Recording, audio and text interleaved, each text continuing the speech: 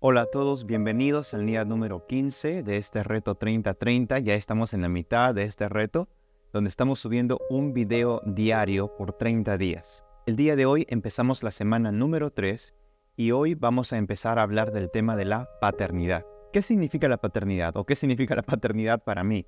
Bueno, si les dije que el matrimonio es el desafío más grande que existe, estoy seguro que la paternidad es el segundo desafío más grande que puede existir. Y es un desafío que desde mi punto de vista no solamente tiene una recompensa a largo plazo, sino que el tipo de recompensa que ofrece es algo que no es congruente con el egoísmo. Y esto es porque básicamente te dedicas a cuidar de la vida de alguien en su momento de mayor fragilidad y vulnerabilidad. Haces todo lo que esta personita nueva necesita para poder seguir con vida y lo haces para que luego pueda crecer y empezar a reclamar y quejarse y simplemente para luego irse de casa a vivir su propia vida. Y es por eso que para muchos, aunque no logran entender cuál es el sentido del amor dentro del pacto matrimonial, sí logran entender o al menos se acercan a entender el significado del amor paternal. Porque en el proceso de paternidad aprenden a hallar su felicidad en el éxito, en el desarrollo y en el bienestar de otra persona que no son ellos. Otra persona a la que han dedicado los mejores años de su vida o sus mayores esfuerzos y con la que se han esforzado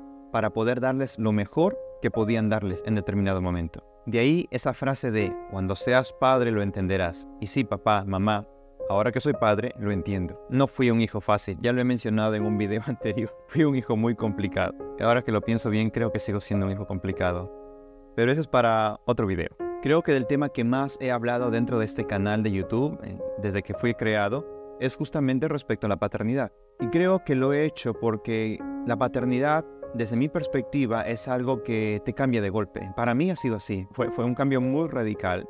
Fue una toma de muchas decisiones al punto de verme desafiado a hacer cosas de las que tenía miedo a hacer o dejar de hacer cosas que consideraba que no iban a contribuir en mi rol como padre.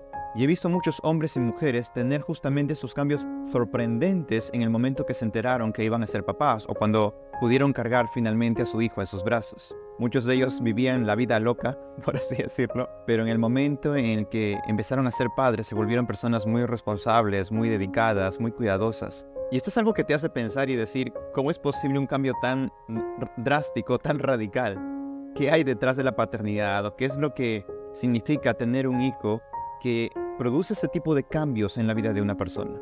Obviamente este cambio no pasa con todos, pero a muchas personas les ocurre este tipo de cambio. Ahora, si a ti la paternidad no te ha afectado, no te ha cambiado, no hubo una mejora en tu vida, en tu carácter a causa de la paternidad, entonces necesitas ir a terapia, porque probablemente tienes ciertos aspectos de tu vida en relación a tus padres que no han sido resueltos o que generan todavía conflicto y es por eso que no puedes ejercer correctamente tu paternidad o tu maternidad. Y si peor aún, tienes una actitud donde no quieres reconocer a un hijo o haces muchas cosas para involucrarte lo menos posible en la vida de uno de tus hijos, déjame darte la mala noticia que la Biblia dice que eres el peor tipo de ser humano. Así dice acá.